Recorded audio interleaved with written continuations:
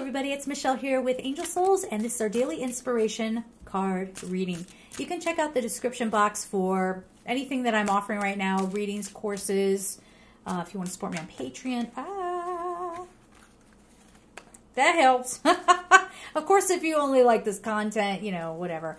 Uh, and if you do like the content, liking, sharing, subscribing, hitting the notification bell, all that helps out quite a bit. All right, let's see what we have. Have Skull Say Peace. Boy, if this isn't coming up so often, it's like really in our face, like saying, hey, there's going to be things that are trying to take our energy. It's taking our peace. So preserving your peace doesn't mean being in denial. It doesn't mean pretending like things aren't there.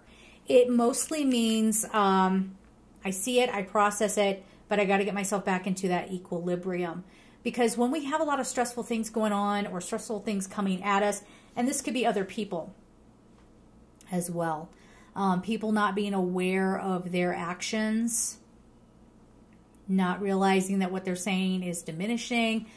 You know, that can pull us down and that can get us distracted. Now we're messing up, we're taking wrong turns.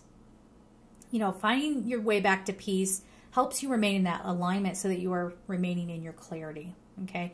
And you're not struggling or suffering. We don't need that, right? Okay. So we're going to leave it there. I'm sending y'all so much love and take care.